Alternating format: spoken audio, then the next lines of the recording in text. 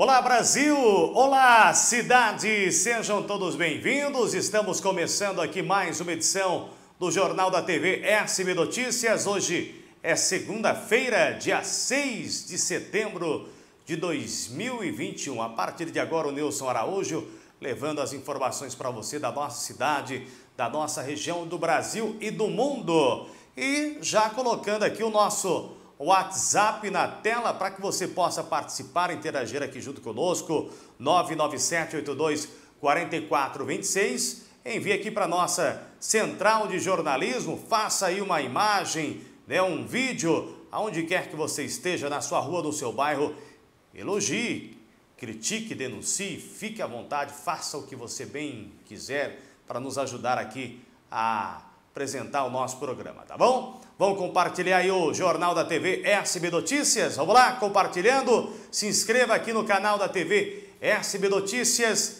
Clique no gostei e ative o sininho para que nós possamos sempre alcançar aí o maior número de pessoas possíveis. Tá certo, meu povo? Tá certo, minha gente? E vamos que vamos.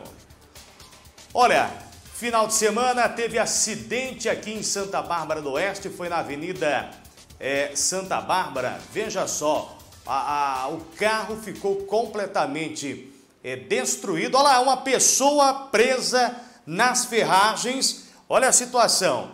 Corpo de Bombeiros foi acionado, Avenida Santa Bárbara, é, do sábado para o domingo. Olha que situação, hein? Um dos veículos não teria respeitado é, a sinalização né, de, de pare e acabou é, colidindo aí é, na lateral de um outro carro de passeio. Né? Você percebe que tem jovens ali, né? Vários jovens. Há informação suspeita de que o que passou ali no, no, no, no, no sinal não respeitou. Há suspeita de embriaguez ao volante. Mas um acidente gravíssimo que poderia ter tirado aí a vida é, de alguém. É, eles foram socorridos pelo Corpo de Bombeiros até ao pronto-socorro doutor Afonso Ramos, aqui em Santa Bárbara do Oeste. Olha, o momento que o, que o agente do Corpo de Bombeiros é, fala com uma das vítimas que estava no carro vermelho. Olha o, o estado que ficou, minha gente. Olha o estado que ficou. Olha aí, ó.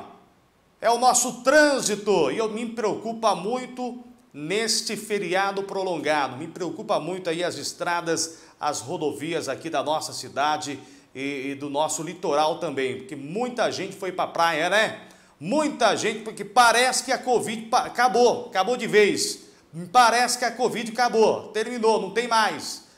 Mas aí que nós temos que ter cautela e não ter relaxamento, né? Acidente esse envolvendo jovens aqui na Avenida Santa Bárbara, em Santa Bárbara do Oeste. Olha, um homem foi preso por ameaçar a ex-companheira. Pois bem, é, a... o fato foi levado até a Polícia Civil. Olha, um homem foi preso, foi no sábado isso, né? Em Americana. Na delegacia ele tentou até fugir enquanto apresentava a ocorrência, o homem tentou quebrar as algemas e pular a janela. Mas foi contido, viu? A PM foi solicitada para atender essa ocorrência no bairro São Luís, em Americana. Encontrou a mulher lá pedindo ajuda com uma criança no colo, hein? Com uma criança no colo. O homem ameaçou ela, é, a mulher relatou que o seu ex-companheiro estava lá dentro de casa, ameaçando a moça de morte. Os policiais abordaram o suspeito que estava também praticamente aí embriagado, caso esse também registrado é, na Central de Polícia Judiciária. Josiane Oliveira, ex-BBB. Josiane Oliveira veio a falecer neste último final de semana. Olha só que imagens, né? Linda Josiane ela participou da edição do Big Brother, é, foi em 2019, né? Em 2019. 43 anos. A Jose, assim como era conhecida, diagnosticada com aneurisma no fim de 2020 e sofreu um AVC. acidente vascular cerebral. Ela fez uma cirurgia e não resistiu. É por isso que eu falo que a gente tem que cuidar muito né, da nossa saúde. Veja, uma jovem como essa, linda, bonita, modelo, né? Atriz também e ex-BBB. É, a pressão alta é uma das é, é, é um dos vilões, na verdade, do povo brasileiro, né? E não tem idade não, viu? Você vê aí jovens aí sendo, infelizmente, é, fatal quando é, o, o aneurisma acaba né, afetando aí a vida dessa juventude que, que, veja bem, tem que se cuidar muito, né? Pressão alta não brinca.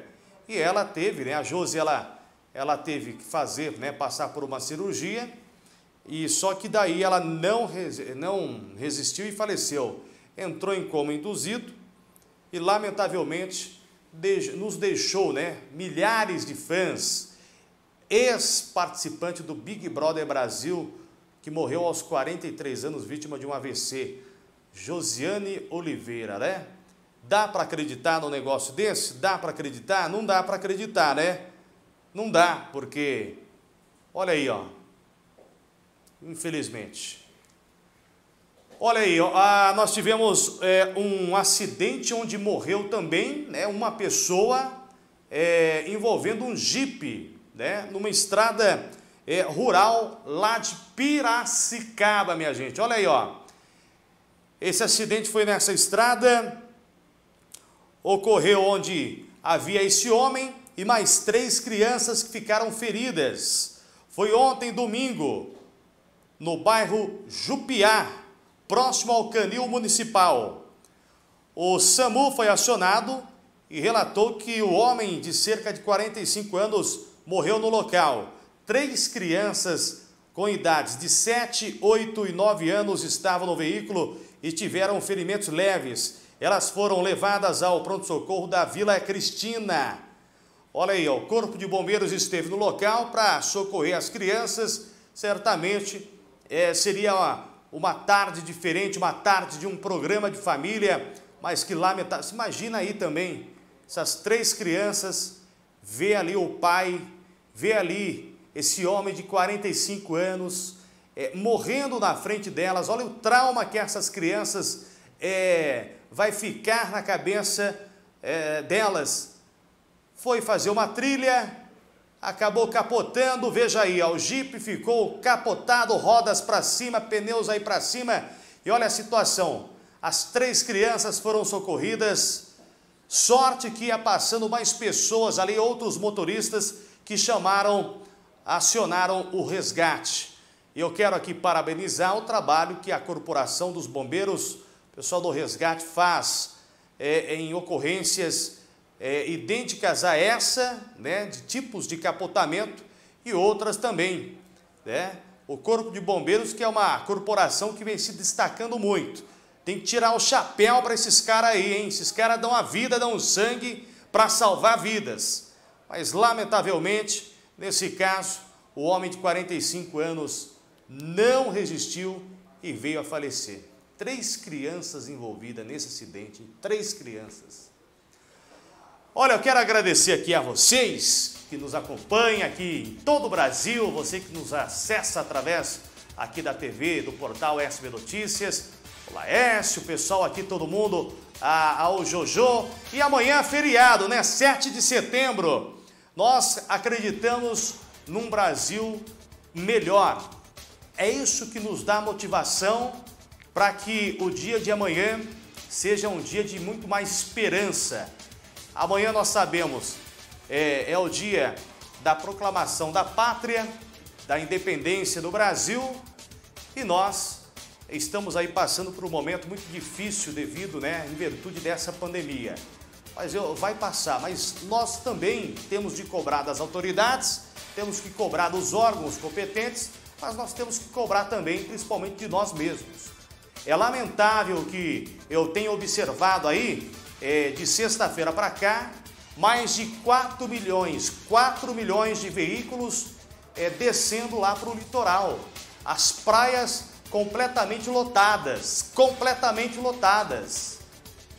Será que não dava para esperar um pouco mais? Né? Depois não adianta ficar reclamando, né? A gente reclama tanto que o combustível está subindo, está aumentando, gasolina, não tem como, né? viu? Né? Que o arroz está caro, né? que, que, que a energia está subindo, que o botijão de gás está subindo, mas nós temos que manter cautela também, minha gente, cuidar da nossa saúde, cuidar da saúde do próximo.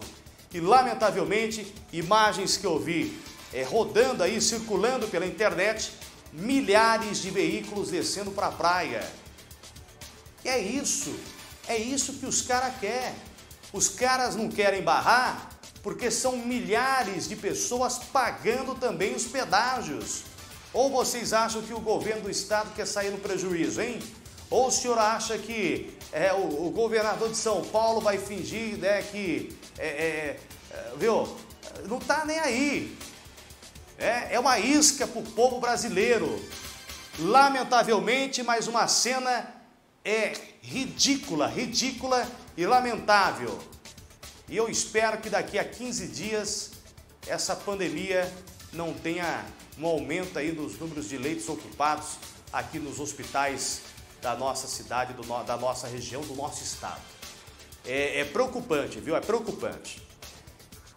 E um bom final de bom final de semana não, um bom feriado para você. É, viemos de um final de semana, mas uma ótima terça-feira. Amanhã, amanhã nós não teremos programa. Amanhã nós volta, voltaremos na quarta-feira. Fiquem todos com Deus. Juízo, fique em casa na boa. Aproveite seu feriado com a sua família, com responsabilidade. Tá bom? Mexeu com você? Mexeu comigo. Tchau, pessoal. Boa semana a todos e até quarta.